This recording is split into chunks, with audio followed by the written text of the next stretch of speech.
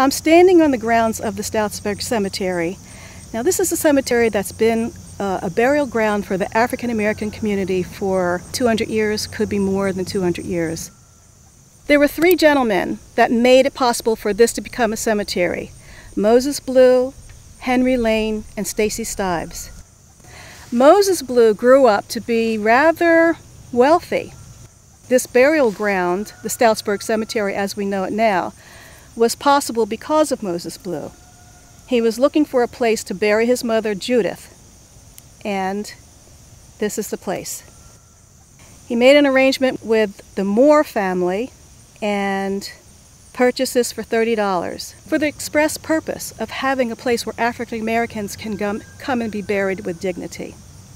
So behind me there is Moses' tombstone, and then there's also his mother, Judith, who was an enslaved individual. She and her husband, Tom, were enslaved by the local uh, white blue family, and they were able to eventually obtain their freedom and become landowners. And they also were able to vote in, in the 1801 election, which was very exciting because this didn't happen for many African Americans or females. So we're very proud of the accomplishments of Tom and his wife Judith.